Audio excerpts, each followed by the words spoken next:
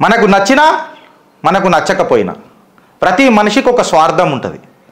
ఆ స్వార్థం ఏందనంటే మనని కొంతమందికి దగ్గర చేస్తుంది కొంతమందికి దూరం చేస్తుంది కొంతమందితో మనం న్యూట్రల్ ఉంటాం.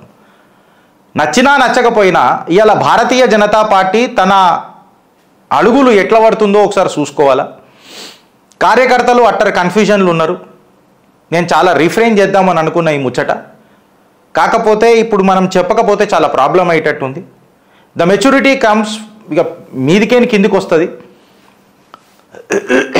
నాయ నాయకుల మధ్యలో సమన్వయం అనేది చాలా ఇంపార్టెంట్ కార్యకర్తలని కన్ఫ్యూజ్ చేయకుండ్రి. వేరియస్ ఛానల్స్ దీని మీద మాట్లాడినాయి.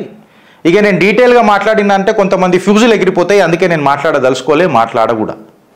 ఒక క్రమశిక్షణ గల కార్యకర్తమా లేకపోతే ఏమున్నదా అన్నది నేను వాళ్ళ విఘ్నతకి కిడిచిపెడతా కొంచెం సమన్వయం పాటించి ఏకతాటి మీదకి వచ్చి ముందటికి ఎలక్షన్స్ ఎట్లా పోవాలన్నది చాలా ఇంపార్టెంట్.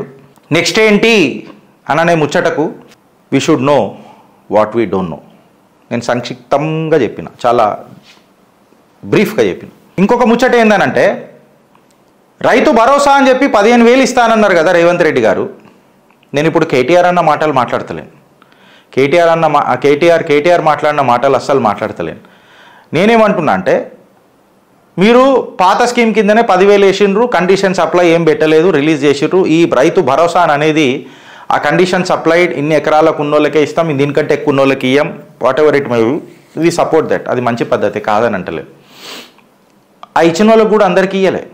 సుమారు ఒక నాకు తెలిసి ఇప్పటి వరకు థర్టీన్ ల్యాక్స్ సమ్ ఏదో release చేసిరట out of four crores or whatever it may be forty five ల్యాక్సా four క్రోర్సా ఏదో నడుస్తుంది ఇట్లా.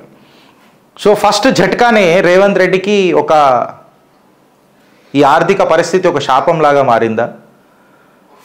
ఈటల రాజేందర్ గారు కూడా ఒక మాట అన్నారు ఏంటంటే ఒక ఆర్థిక మంత్రి మార్ మాజీ ఆర్థిక మంత్రిలాగా చెప్తున్నా ఈ ఆరు గ్యారంటీలు వాళ్ళకు ఆరు శాపాల్లాగా మారుతాయి అని చెప్పి చెప్పిండ్రు. దిస్ ఇస్ ద ఎక్స్క్లూజివ్ చిట్టా number two of the day